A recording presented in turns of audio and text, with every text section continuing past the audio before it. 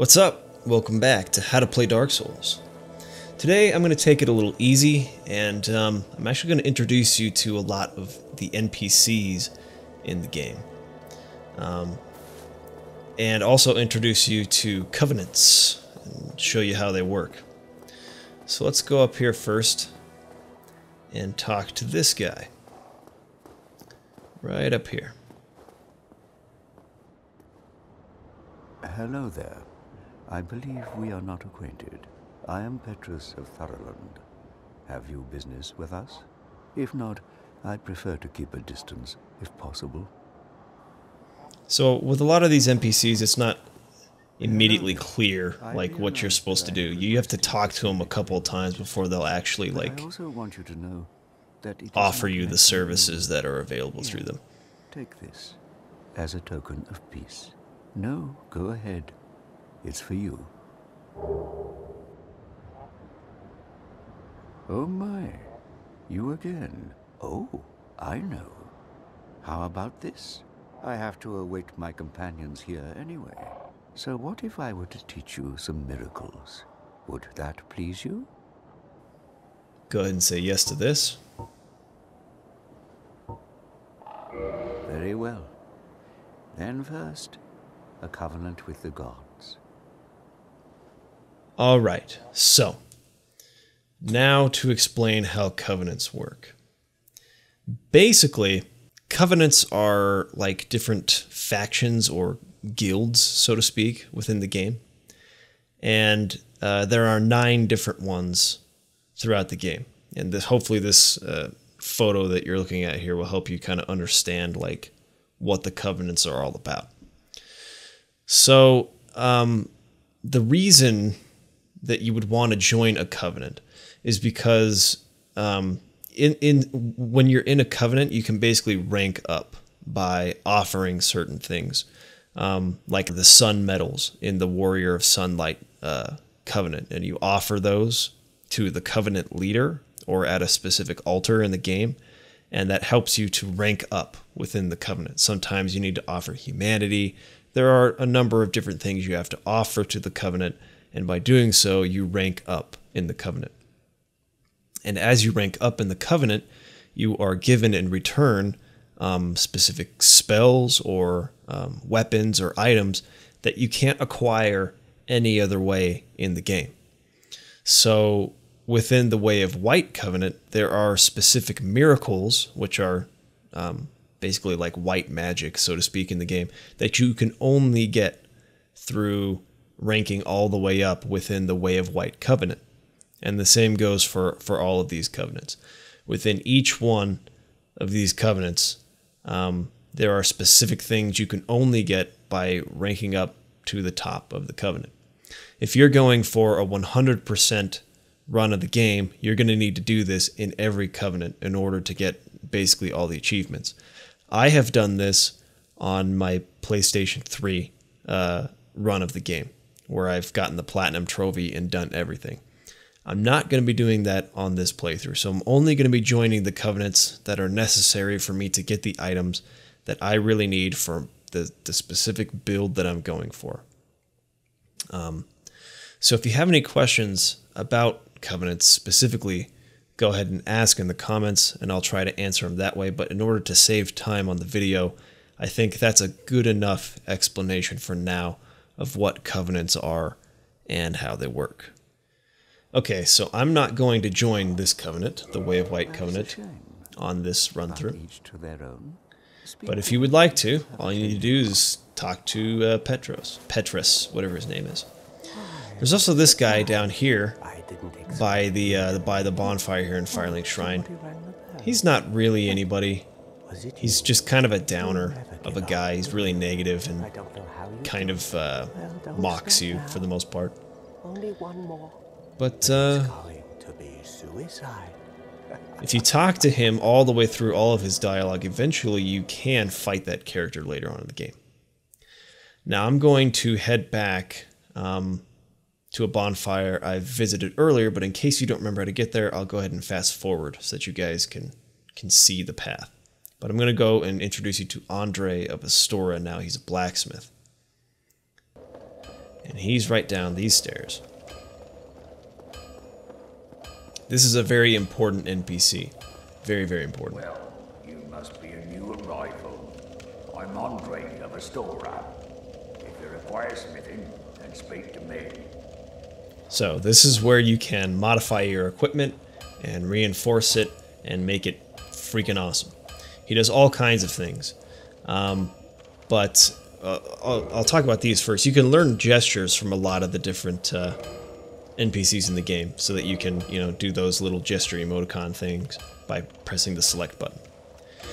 At the moment, I can't uh, modify any equipment, but I can reinforce equipment with Titanite shards. I talked about this a very little bit in the past, but you use Titanite shards to basically strengthen your weapons. So I can take my sword, the Uchigatana, and I can make it an Uchigatana plus one, and it'll make it slightly stronger. It'll take it from 90, uh, you know, 90 damage, not 90 damage, but 90 strength to 99.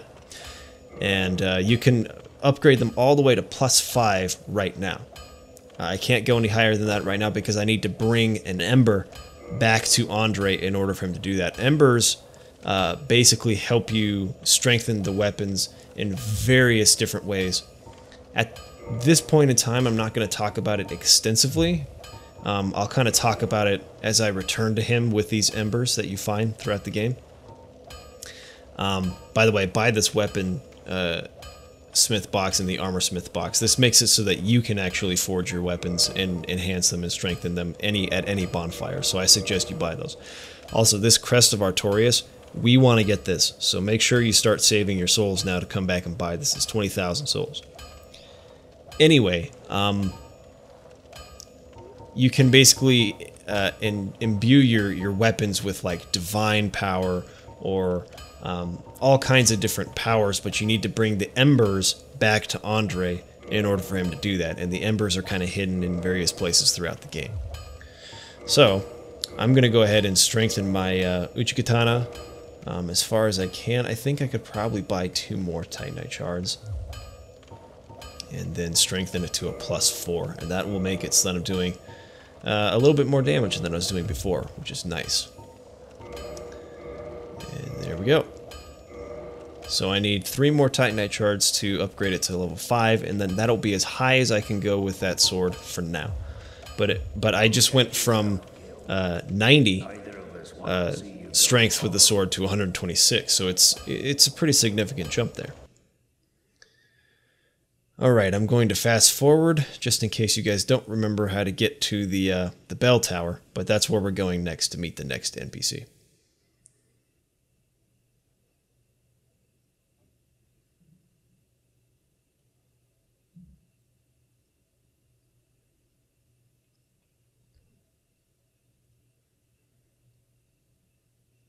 This is where we fought the uh, the gargoyles on top of the roof of this cathedral here. Now you go in here, and you can meet Carim. Now Carim's a pretty important character.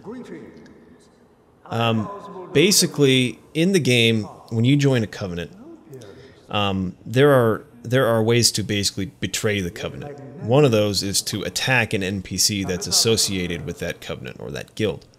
And if you end up betraying a covenant that you joined, um, that's a sin in the game. And then those NPCs will become hostile towards you every time you go back to that area. And you can, through Carim, basically request absolution, where he can forgive you those sins, and then those NPCs will no longer be hostile towards you. Um, you'll have to go back and then become part of the covenant again if you want to do that. But um, at least they won't be hostile towards you. Um, you can also abandon covenants with uh, Carim here, and that won't be um, a sin. Anyways, um, indictments.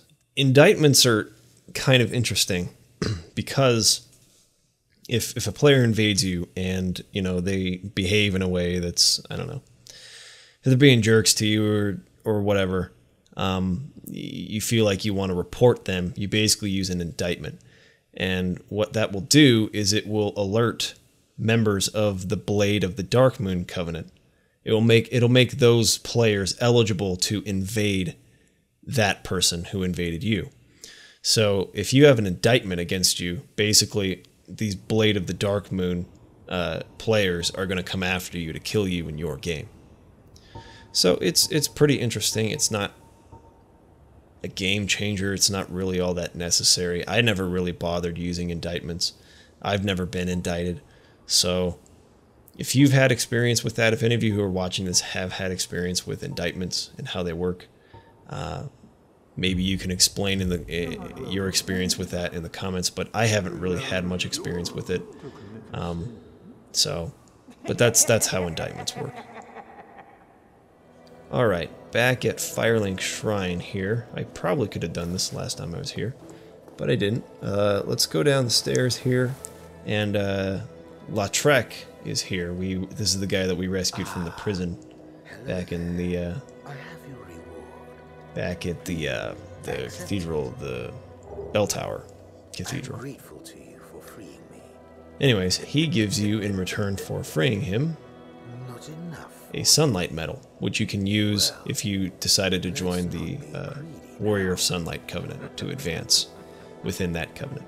I'm not going to be joining that covenant on this playthrough, but um, there's some pretty sweet rewards for, for being in that covenant. Now, this NPC is the Firekeeper.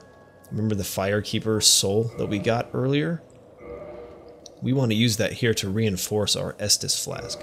What that's going to do is you'll see down in the bottom left corner, the Estus flask will become an Estus flask plus one. And now, when you use an Estus, uh, when you drink Estus, it will heal a little bit more than it used to. You can enforce the Estus flask up to plus five, if I'm remembering correctly. I might be wrong about that, but I'm pretty sure plus five is as high as it goes. So you get Firekeeper souls in the game, and you take them to the, the Firekeeper there, and she can basically make it so that Estus will heal you even more. Um, while we're talking about uh, Firekeeper souls, I'm going to go get another one, but I'm not going to use it right now. I'm going to keep it for a little bit.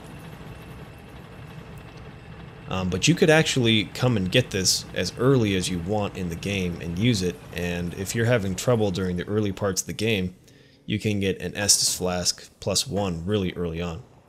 Now, um, my frame rate's dropping. There we go. Sorry, I had to change some settings. Okay, you can come and get this very early on in the game. Let's go talk to this NPC first, though, before I go get the uh, Firekeeper Soul. There's one NPC down here that we can talk to. Hmm? Well, this is unusual. You haven't lost your head. And more importantly, you're free. How on earth? Well, I shouldn't pry. I'm Rickert of Vinheim. I was once an established smith. Look at me now. Can you believe it? Okay, so let's try and talk to him again. There we go. What is it? Have you? Oh no. Don't worry. No intention of escaping. It's safe here. Can't bear the thought of going hollow out there. Although, I must admit, I've not much to occupy myself. How about this? I could forge your weapons, albeit with rather minimal tools. I'll show you what made me the best in Vinheim. Okay. So uh, this guy can actually forge your equipment to have uh, magical properties.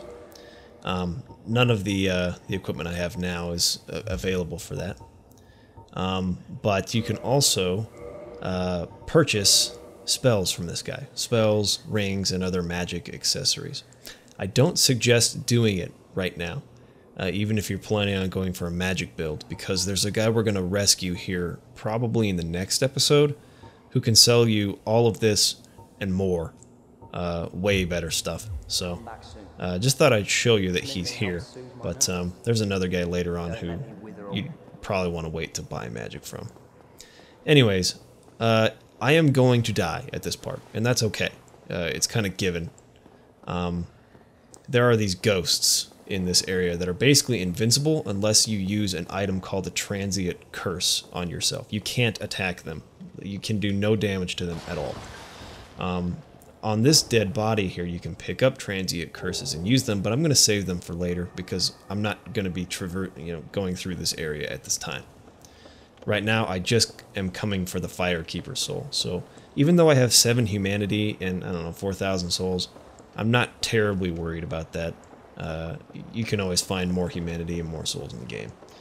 Um, this is definitely not something that's like going to be a tragedy to lose. But basically, you want to go straight through here. Be careful, don't fall off either side. There's kind of a thin bridge through this water here. But pick up the Firekeeper Soul. And by the time you do that, you're going to be surrounded by these ghosts. There's really not a good way of getting out of here. Um, you're going to die if you do this. But it's worth it if you're very early on in the game um, and you want to uh, boost your Estus Flask so that it can heal you uh, even more. So that's an option that's available to you, but I want to hold on to this Firekeeper Soul specifically uh, for a reason that I'm not going to spoil at this time. Anyways, I think that's good for today. Let me know if you have any more questions about Dark Souls. Thanks for watching, and peace!